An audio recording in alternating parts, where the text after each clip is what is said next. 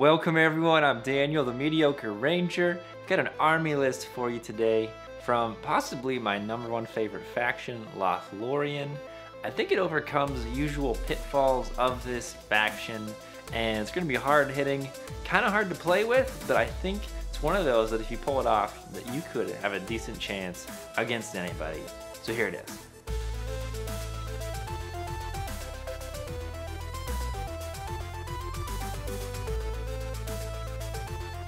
The number one weakness of Lothlorien, and I run into this over and over, is its strength.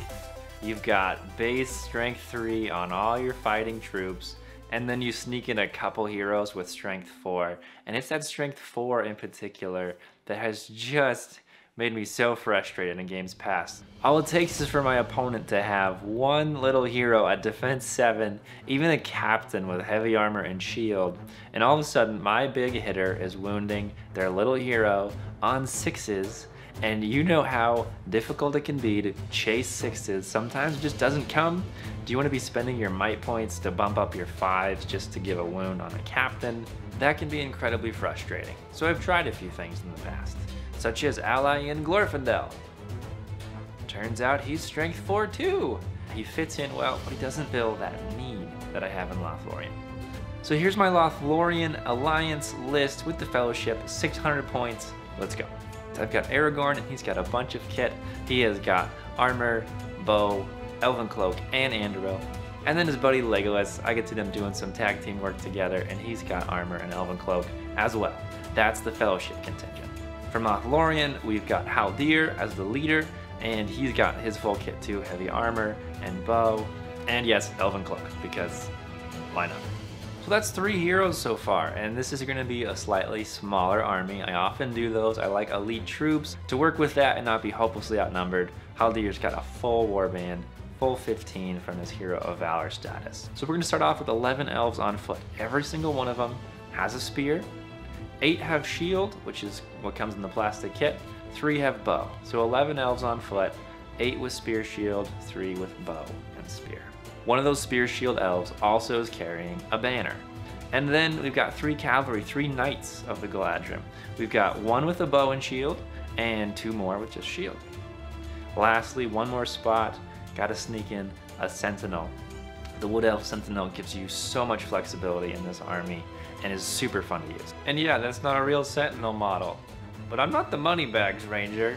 I'm the mediocre ranger. So we've got five bows, three from the foot soldier, one from the sentinel, one on a horse. So we've got some flexibility there and we got the five, max five bows on our warriors there as well. So I'm excited to use this. Even though I've got a small amount of troops, I'm going to be outnumbered often.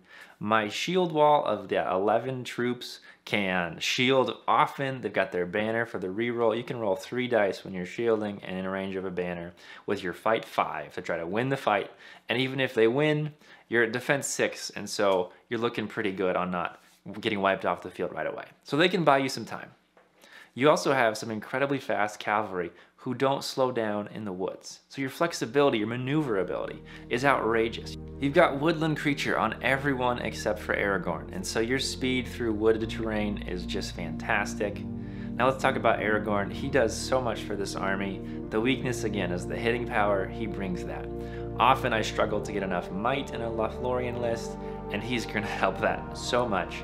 Might is actually not a problem on this list. I've got nine might since I've got three three might heroes in Legolas, Aragorn, and Haldir, and then Aragorn's free might per turn. I'm actually looking fantastic on might, so I can call those heroic moves that I'll need to to get out of traps and tricky situations. So I'm feeling good about that as well. Now how about archery? We've got the bow on Aragorn, we've got the bow on Haldir, and so you've got a shot when you need it and when it makes sense to. Don't fall into the trap of shooting every turn with Aragorn, but on turns you need it, you've got the bow. Legolas, you've got three shots or that one almost auto hit when you need it to knock out a horse or something like that. And then Haldir, expert shot, he's taking two shots a turn. So you've got five elf warriors with bow, but you also have three heroes that give you a total of six shots right there when you need it. And so your archery can actually do something. You've got nine or 10 might behind bows. If you absolutely just have to wipe something off the board because it would wreck you, you can put some might into it just to wipe that hero off. and you're gonna come out right. So let's talk about what I'm up against. What do I not want to see on the other side of the table? Magic is one of those first things I'm always thinking of, and when I've got spells coming my way, I bet every spell is probably coming to Aragorn because everyone else besides Legolas and Aragorn has resistant to magic. Free dice to resist spells on all my warriors even, so I'm loving that. Fortunately, all three of my heroes have elven cloaks. So if I've got some Nazgul on the other side or just something nasty, I'm going to be using terrain a lot, especially to hide my heroes so that they are untargetable, and a free dice for my warriors if they're in line of sight.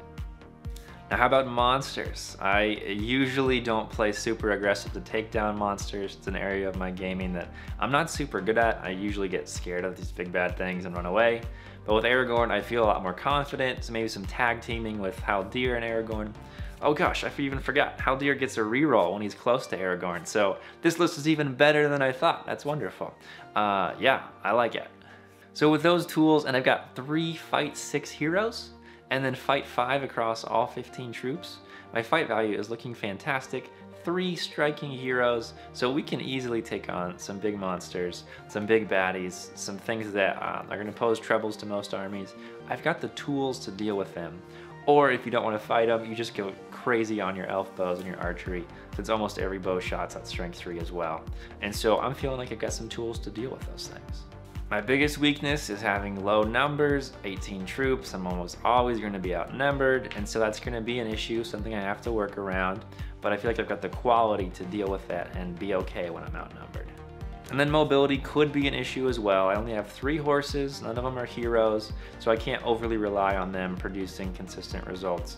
That could be an issue, something that I'd struggle with, but when I need it, Aragorn's going to be heroic marching all over the place every turn, and that's going to be, again, a better than usual situation for Lothlorien as well.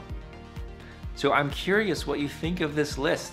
I love making non-standard army lists that still perform. I think this one has it.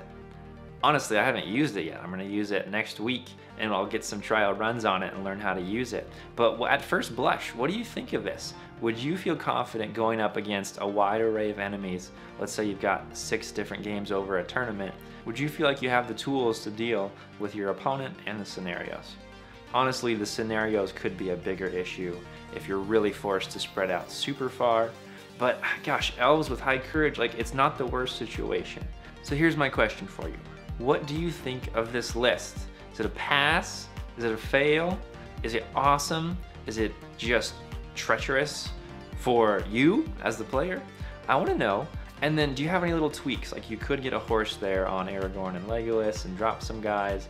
I mean, you've got some trade-offs and things you could do. Drop the Sentinel, like I don't want to do that. But again, I'm, I'm curious if there are any tweaks that you would have that could improve this or cover up some of the more weaknesses that it does have. And so reach out. I want to hear what you would do to make this even better and then I'll steal your idea.